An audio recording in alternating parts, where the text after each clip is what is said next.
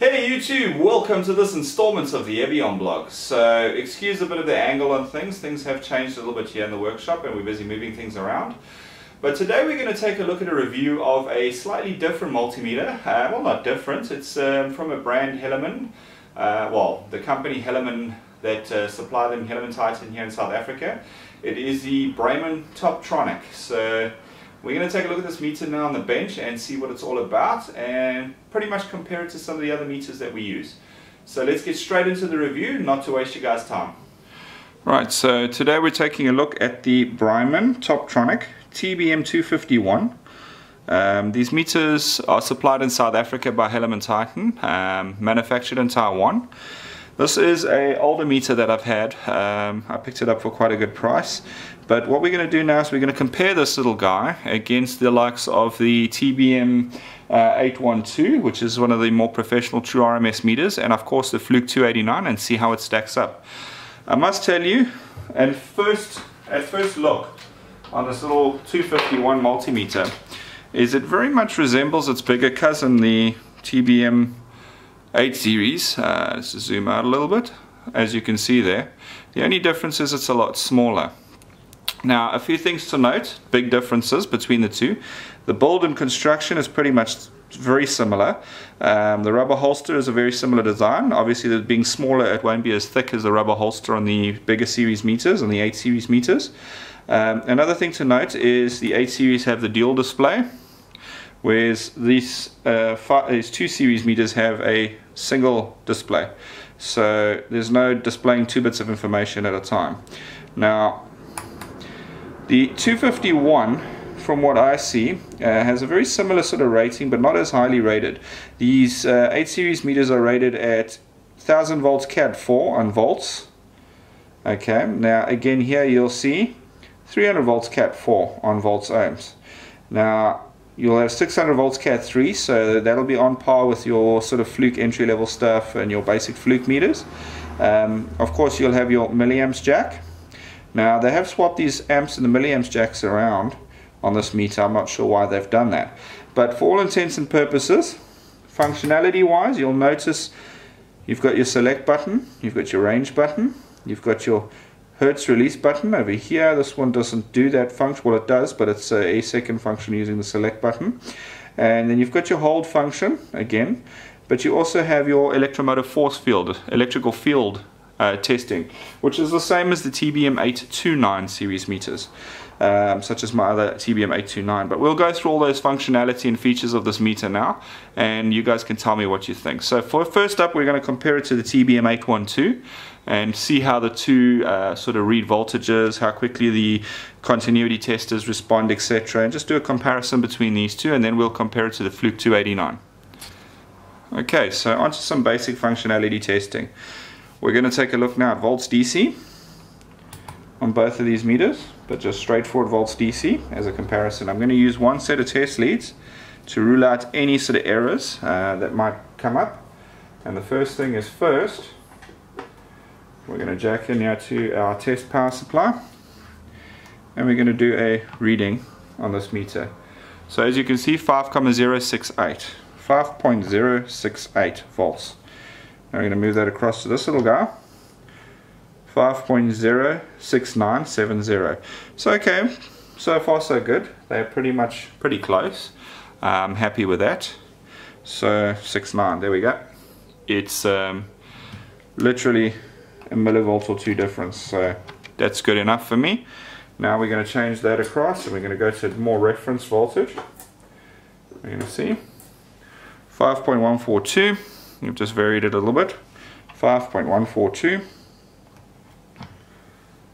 5.143 again 1 millivolt difference. Hell that's um, not much to, to even worry about. So let's go down to a lower voltage. Something in the range of let's see plug in over here so you guys can see where we are. 1.244 volts okay so 1.244 on this little guy 1.244 243 again 1 millivolts to spot on no problems at all so the last test voltage I'm going to use here is around 12 and we're going to see how that does a direct comparison. Let's just jack this up to around 12 volts. Let's do a reading. 11.87 volts. Okay, 11.87, 11.86. So this little guy over here, 11.87 again, spot on, 11.86. I'm very happy with that result. We're getting more or less the same thing. So from that, I mean, we could go higher in voltages, etc., but I don't think it's necessary.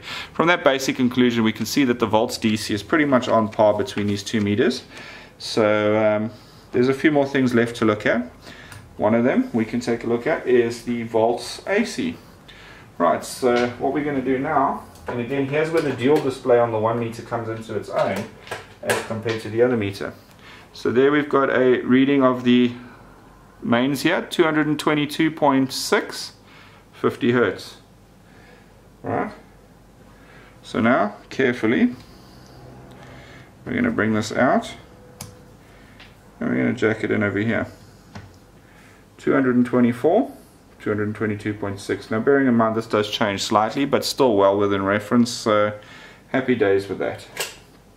Now, a few more things we can look at while we have the leads in this meter over here is we can look at the continuity tester and three, two, one. As you can see, it is latching.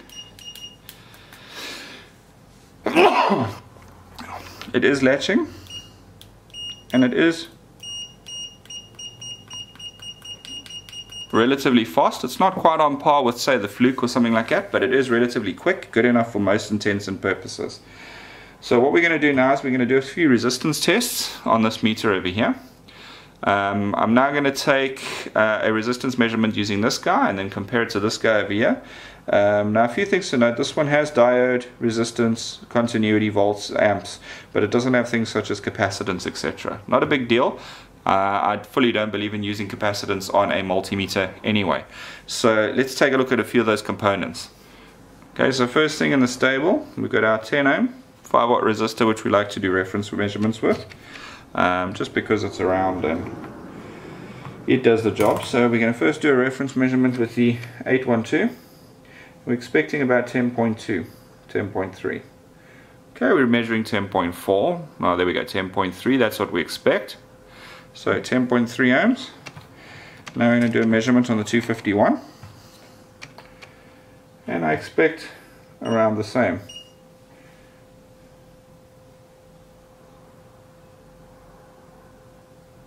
Ten point one, ten point two. Okay, it's close. Um, not quite the same level, but it's close.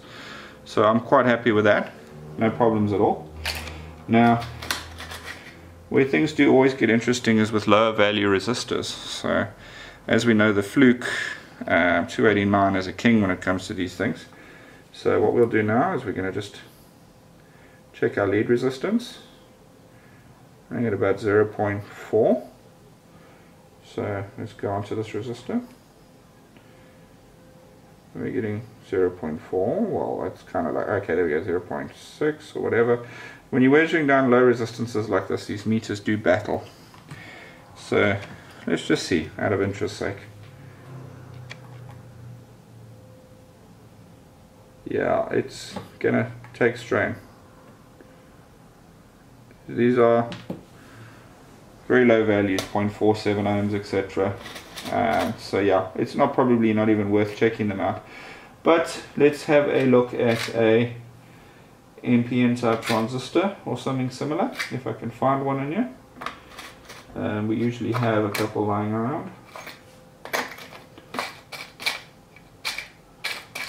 and it seems like our normal lying around batch are no longer lying around uh, which is a bit of a sad state of affairs but we do have a diode so let's check out a diode junction um, using both meters so we're going to head over to the 812 I'm going to head over to here to diode test. I'm going to check reverse, nothing. And forward, 0.532. Now as you can see it's pretty quick. Now on the five, uh, sorry, the 251, it's a second function. Just going to check the forward. 0.53, 529, 53. Okay, well there we go, 529. There we go. Nice. In reverse, obviously nothing. So okay, nothing wrong with that. So far so good. So far both meters are pretty much on par. So if you're looking for a nice reliable little multimeter, I reckon this 251 is starting to look better and better, especially for the money. But um, let's take a bit of a closer look at the build and construction of this meter and then also do a few current measurements and see how it stacks up. So what we're going to do um, for those measurements we're going to put it up against the Fluke 289 as a reference um, and see how it measures current etc as compared to the 289. Okay.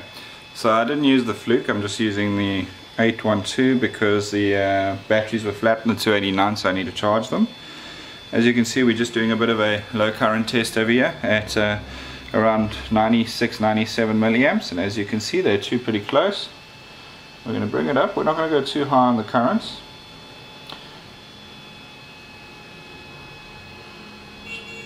Go to about a half an amp or 500 milliamps roughly. As you can see we're still sitting pretty close together, no problems at all there. Now this load will do about 2 amps but I'm only going to go up to about an amp, amp and a half. And as you can see we're still sitting for more or less in the same place. So yeah there's absolutely no problems at all when it comes to measuring DC current. It's pretty much on par with the 812 in that aspect. And um, yeah let's uh, not worry too much about milliamps, microamps, etc. But um, I'm pretty keen to talk a little bit about the screen and the build of this meter um, at this point in this review. Now just something I wanted to point out about jacks. You've got jack alarms over here. As you know this is quite dangerous. Um, so if you were to try and go to volts now and measure volts with this plugged into the amp jack you could create a potential dead short, flash incident, whatever the case may be. So now if you go across to anything it's basically going to tell you that there's a problem very loud and clear until you pull your lead out. So it does have a bit of a jack alert system which is really cool. It just lets you know if you're plugged in unsafely and if you could potentially create a problem. So yeah, that's quite a nice feature again, also available on the bigger models, but it's quite nice to have it on a, a smaller version. So let's talk a little bit now about this meter. Okay, so just a little bit of a speech. As you can see, the meter is in the traditional sort of shape of the Brymen um, what we're used to, but it's not the same size. Um, the build and the buttons feel quite nice. The selector switch is very nicely made, in my opinion. There is a bit of a, you look there from this sort of angle, the screen is quite dim, but from that angle it's quite good. So it depends on that. Um, it's quite well laid out, I must say. It does have a PC connectivity option. A little hook here for hanging it, etc. And it does have a small tilting bail which might not be the best but it'll get the job done um, again you can see the meters made in Taiwan along with all the other Brymen equipment and yeah it's it's quite nice. It feels quite nice. It's nice and compact. It's basically like a baby version of the Brymen we all know and love which is really cool. So yeah and the screen is nice and big. So I find no issues with this meter. So if you guys are looking for something and you're not too concerned about capacitance and all the other crap that goes into multimeters nowadays, and you're just looking for a dedicated good quality meter, the TBM 251 definitely something to look at. Um, what we're going to do now just to finish off this video is go and take a look at this meter on the internet and see what they talk about it and see what the spec reads on this meter. And then uh, we'll conclude with just my conclusion overall. Alright, we're just going to take a look at that EMF function or EF function. So you basically hold to activate it. Now it's detecting the mains from this, so I'm going to take this away a little bit. And you'll see as I bring it in,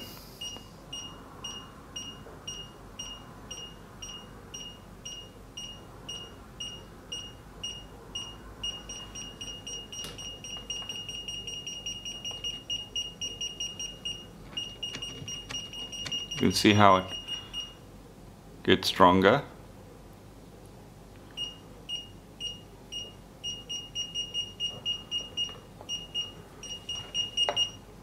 I'm not sure exactly where the sensor is, but it's somewhere here in the head. And that basically allows you to see if there's live mains or anything like that around in the area. So yeah, quite a usable function of the meter, uh, definitely, and uh, possibly something you could use when you're busy checking if things are live or dead, and you just want a quick reference to see.